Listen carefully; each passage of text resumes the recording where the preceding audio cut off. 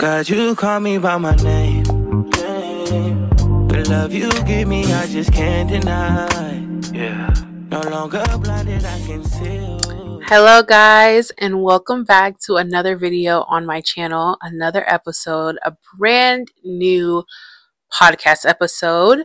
I am your host, Hawa Mansaray. But if you're new here, please subscribe, like, comment, share with someone who you think would benefit from this, or maybe save it if you would benefit from listening to it more often or at another time of your convenience. But if you're returning, hi OG, hi bestie. Um, it's just so nice to have people who like return because I know there's some people who return and you know they actually like catch up on videos as well. Like maybe they haven't watched a video or two and they catch up on some later. So I really appreciate it if you're one of those people. Like seriously, I appreciate it. If you're um a returner, you know that I got a new microphone. So this is not a pink microphone. I'm used to using my pink one, which is this one. However, there's nothing wrong with it. It's just that I don't have the same phone. So like the adapter that connects to my phone is not the same because of my new phone. I just recently got an iPhone 16, um, like the little colorful ones, which is really pretty and cute. That's why I have a new microphone, if you're wondering. However, very, very important disclaimer if you are trying to skip to the teaching and you do want to get right to the teaching, I will always, always, always attach the timestamps in the description box. Um, so you guys can just skip right to where we start talking about the main topic of the episode. And if you haven't already, definitely follow me on Instagram. And it's at all the with two E's underscore above. And also follow me on TikTok with the same at name. Yeah, we're going to get right into today's video. And I definitely want to go ahead and pray. Um, as you guys know, I definitely missed a week. So I was supposed to post this episode basically last week, but obviously because of my phone, I changed my phone. I didn't have any storage left on my last phone. I think I mentioned that. So, yeah, that was just a whole adjustment trying to change my phone, trying to make sure that I had like everything back to normal on my new phone, if that makes sense. So, yeah, we're gonna go we're just gonna go ahead and get right into it. But i definitely wanted to let y'all know i feel like sometimes when you take a break you become back a little rusty. I feel like sometimes i'm a little rusty when i come back after like a break from like vlogging or a break from like this you know? Because i was doing it for like a good month. That was pretty well. That was a pretty good run. We're still in season one by the way. So I am wanting to update you guys on how I'm doing these. I want to do them by seasons. So I think a season will have like seven episodes and then I'll take like a little break, come back with another season. Y'all let me know how long you want seasons to be. So this is obviously season one of my podcast. Let me know if you want it to be a little longer, a little shorter. What's your tea? You know, let me know. Anyways, um, let's just go ahead and pray and get right into today's episode.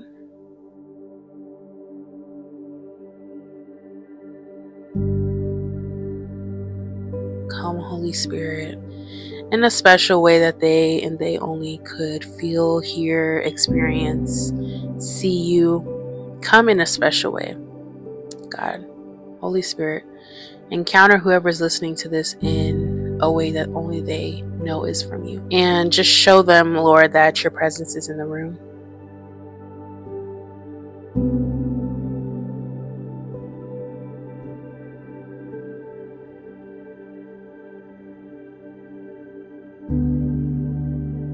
Father God, I just thank you for another wonderful day. Thank you for another wonderful week and for just taking us into such such a beautiful time as this time of holidays, time of celebration, time of family and friends and love and joy, and just time of transition, time of ending and beginning a new year.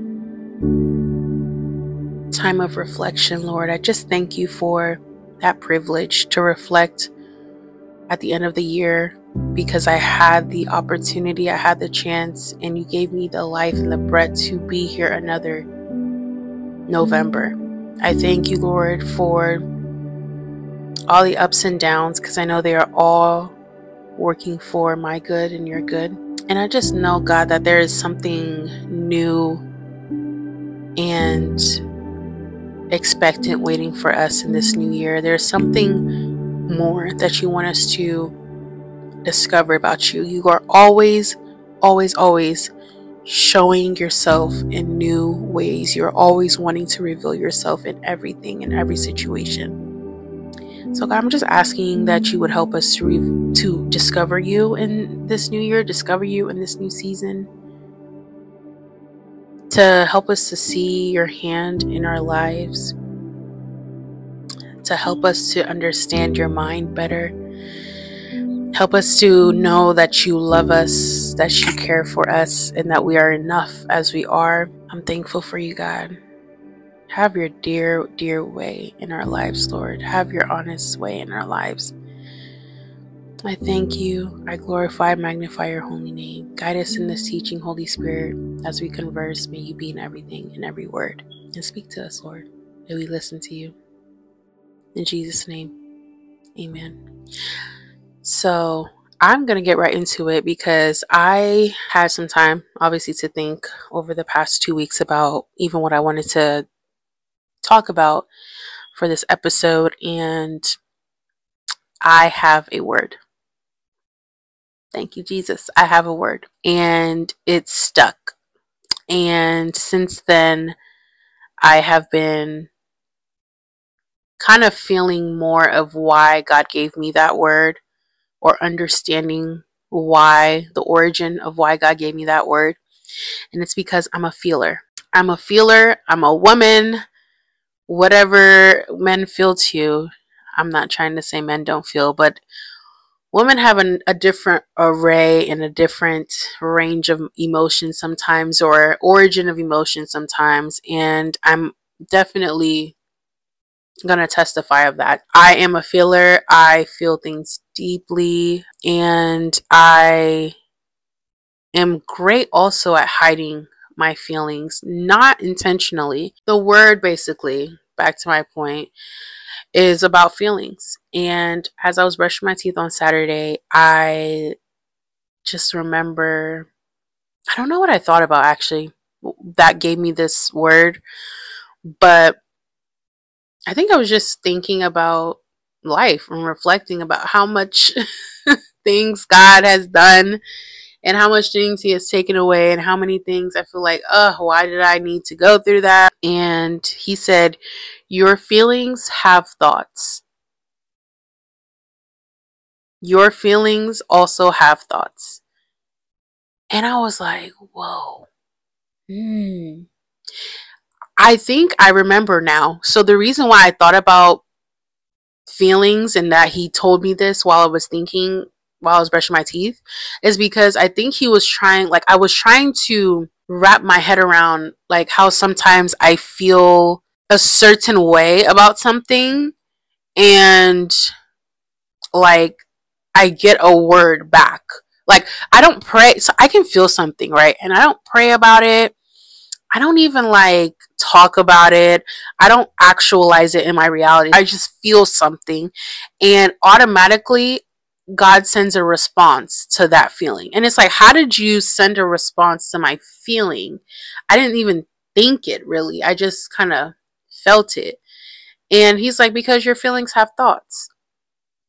You feel anxious, and that's a thought to me. Like, I, I, I see that as a thought like I see that that anxiety is you talking to me. Whoa. I'm like, whoa, God. That's kind of crazy and it's kind of cool. And, you know, there's a verse that's like, uh, as a man thinketh, so is he. Like, as he thinks, whatever he thinks of, whatever he ruminates on, whatever he meditates on, that is what he will become. And it's like, so God kind of was telling me, like, your feelings too is what you will become as well because they are your thoughts. They are what you're thinking as well. You feel something and you think like, "Oh, but I didn't like think about that. Like I just kind of felt that way." You feel offended, but you don't, you know, think about it too much. But you felt offended, that is already a thought. That's like a little thought that comes up to God. He's clocking it.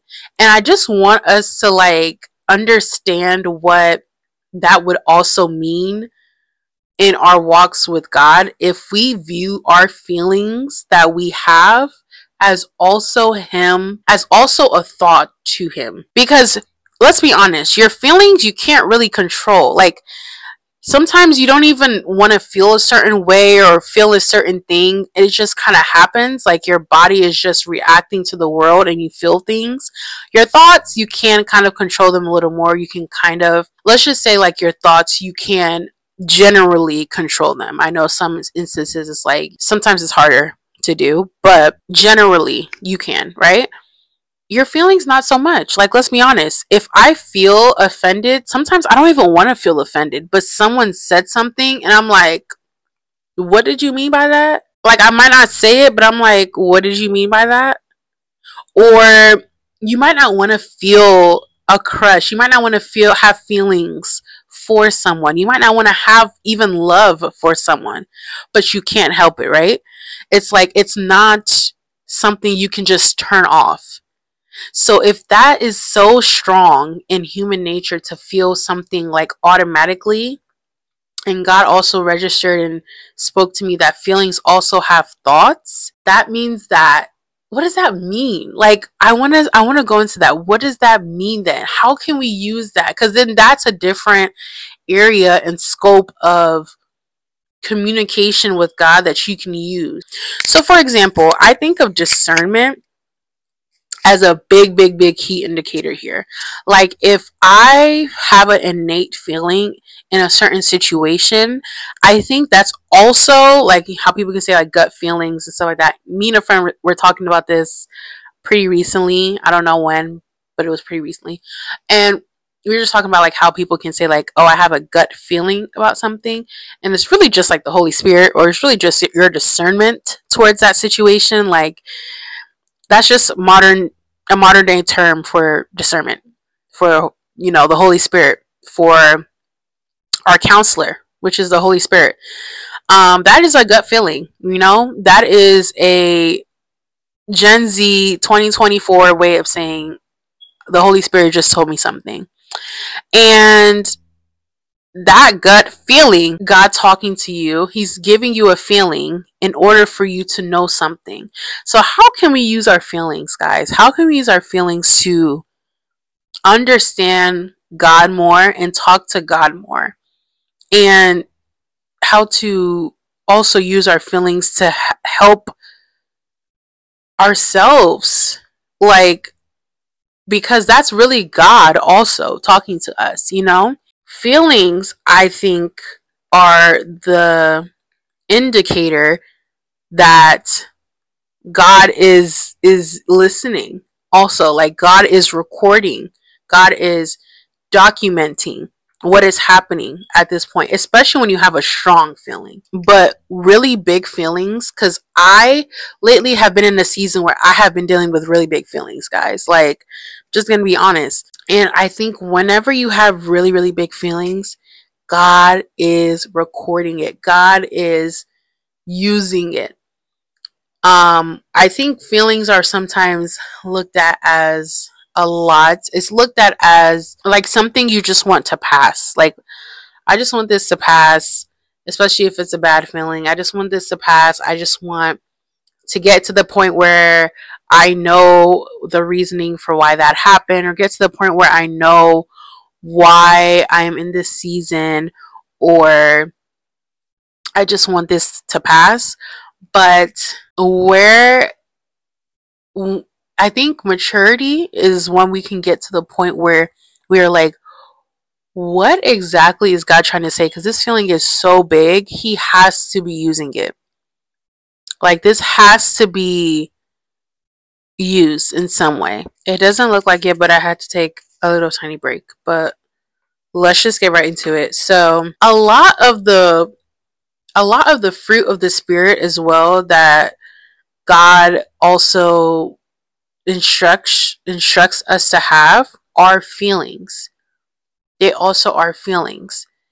To be at peace in the midst of chaos, to feel joy in the midst of deep despair or sadness, to feel like that joy is not circumstantial.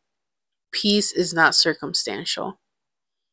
Um at least not the one that God is requiring from us when he talks about fruit of the spirit in Galatians. It's a deep knowing, a deep innate knowing, and a deep innate response he wants us to have from life and towards life. And so, if he wants us to be innately at peace in the midst of chaos, innately joyous in the midst of despair and sadness, innately loving in the midst of hate, or to have gentleness, I was going into, I was reading some of the chapters here. So I go to Samson and I read about Samson because Samson, I feel he also had battles with his feelings. He also had battles with trying to control them. But David also had issues with that. But they can unravel into worse things when the enemy finds a loophole into them and he starts driving the engine into a different way because that's what he does. He uses what God wants for good. He uses our good desires. He uses our curiosity, which God instills in us. He uses everything God instills in us, even our feelings, and He makes it warped. He warps it, He twists it, and He twists it, and He makes it into something now that is going to kill us, just bring destruction overall. I believe that God wants us to have that awareness that feelings are strong for a reason and feelings are not to be suppressed. You know, I think the main thing also that I'm getting is your feelings should be like confronted, vocalized. Because the more you suppress them, the more the enemy warps it in your mind. He will warp it in a way that you will fulfill it in the most, in the worst way that you could. So, I want to say, I want to read David and Bathsheba I want to read that. That is Second Samuel 11 2. So it says, One evening, David got up from his bed and walked around on the roof of the palace. From the roof, he saw a woman bathing. The woman was very beautiful, and David sent someone to find out about her. The man said, She is Bathsheba, the daughter of Eliam, and the wife of Uriah the Hittite. Then David sent messengers to get her. She came to him, and he slept with her.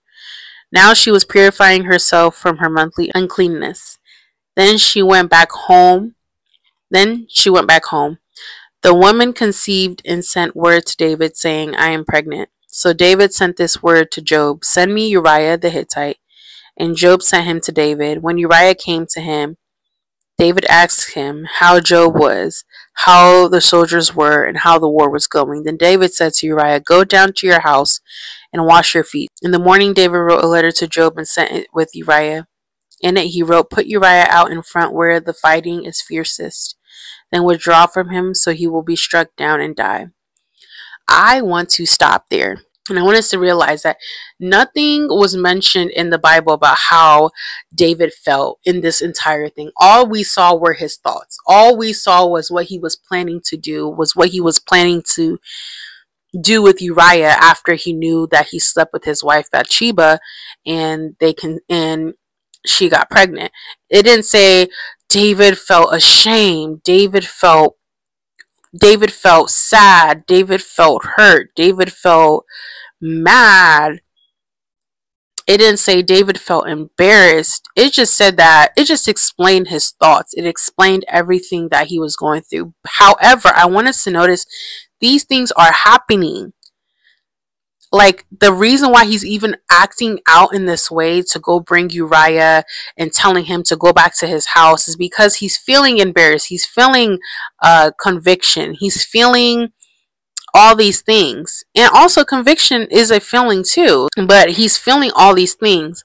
However, we are just seeing the feelings expressed as a thought and as actions. I am happy that we have real stories of people who are imperfect because this story always gets me because I'm just like, this is the man that is one of the most famous men in the Bible. And he was a man of God. He was a man after God's heart.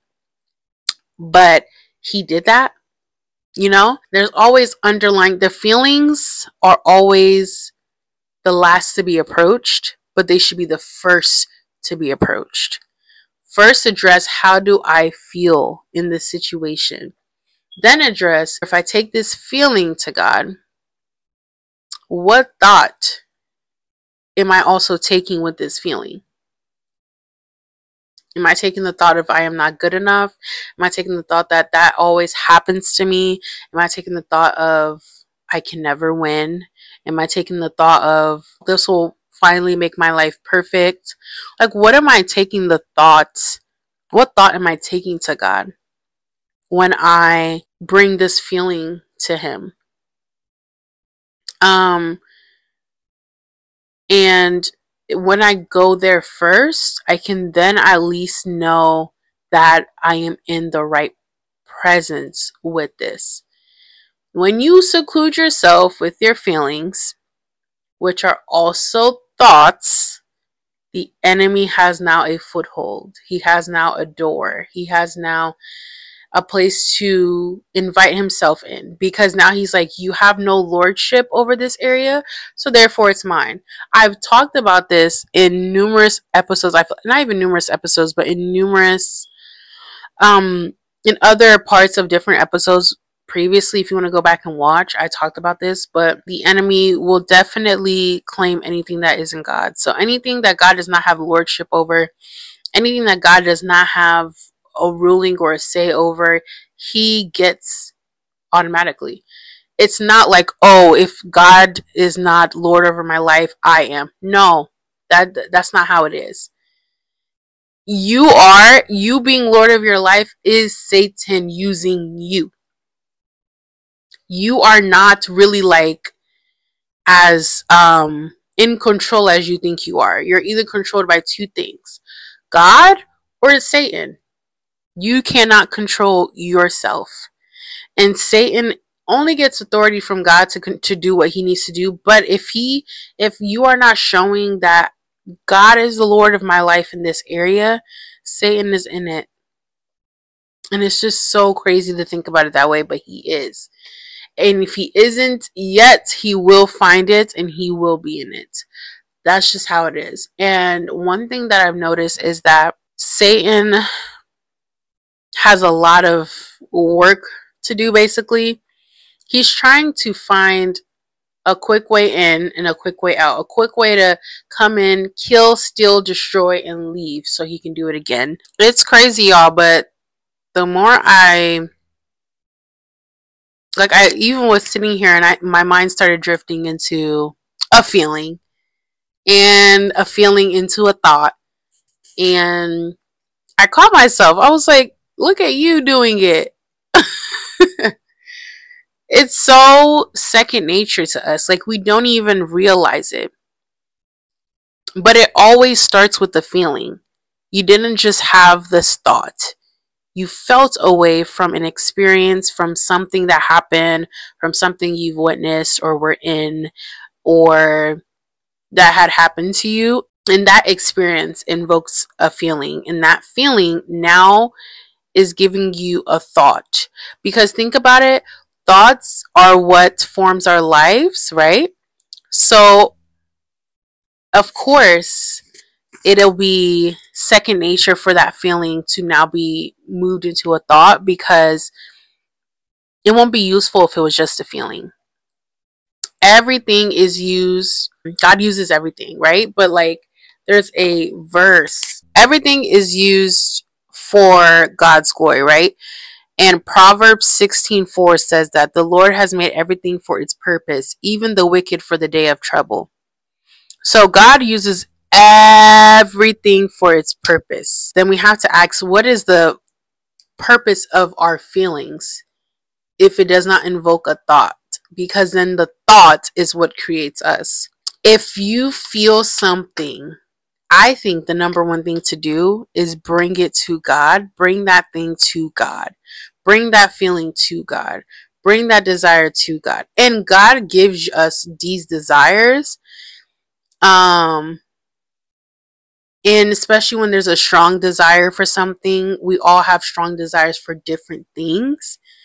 So that's how we know that God is implementing these things um, very intentionally into each and every one of us because we all don't just have strong desires for the same things, right? We have strong desires for different things. I think it's it's good to dive deeper into why you feel the things you feel and not just suppress it or um, or just run a generic catch all phrase of this will pass.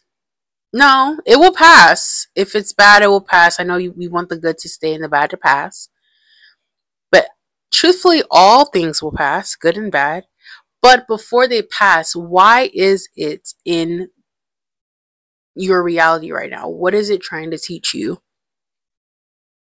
Depending on how strong it is, what may God actually want its purpose to be.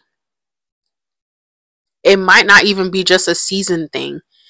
You might have just found your purpose based off of what you felt. Catch it. I'm going to say it again. You might have just found your purpose based off of what you felt. Okay. I really do hope that you guys learned a lot from this episode. I think that I did I did go into parts that I didn't even understand myself in this episode. I think I also want to do a little more of like reading into this like part of what God is trying to teach me about feelings. Yeah, I hope that this helped somebody. I hope that this helped you and I just hope that God continuously reveals this week that you are not alone and that you are enough.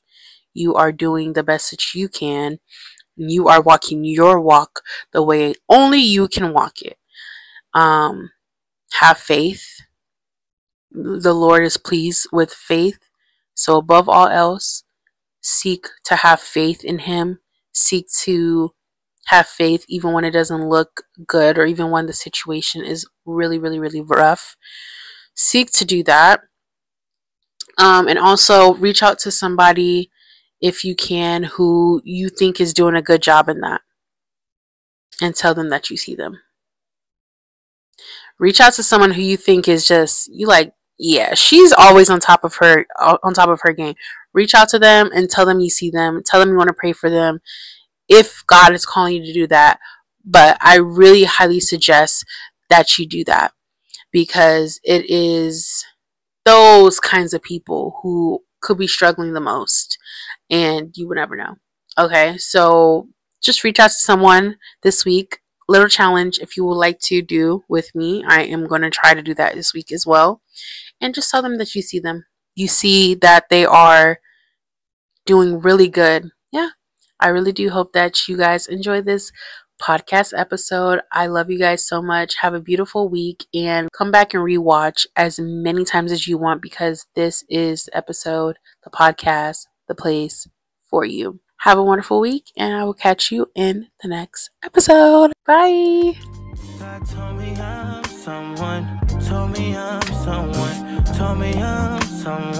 Told me I'm told me I'm someone, told me I'm someone, know that I'm.